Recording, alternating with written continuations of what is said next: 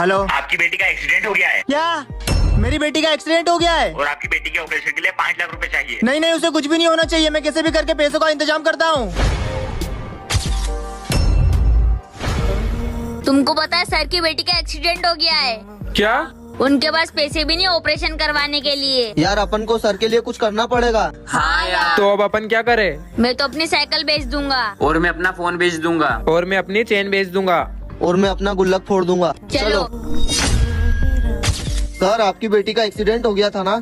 तो सर हमने कुछ पैसे इकट्ठा किए हैं। बच्चों इसकी कोई ज़रूरत नहीं है। लेकिन, क्यों?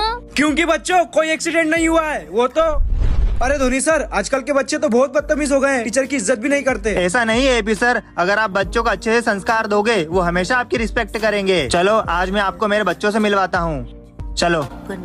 वेरी गुड बच्चों। मुझे तुम सब पे गर्व है।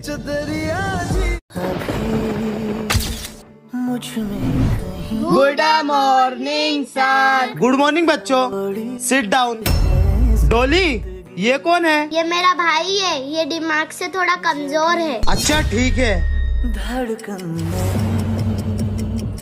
जाना ज़िंदा। अरे यार ये फ़ोन भी ना।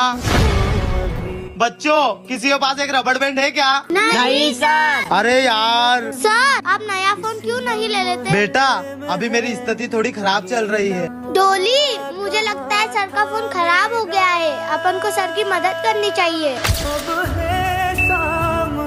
सर हम आपके लिए कुछ लाए हैं। अच्छा क्या लाए हो बेटा? सर हम रोज देखते थे कि आपका फ़ोन चलता नहीं है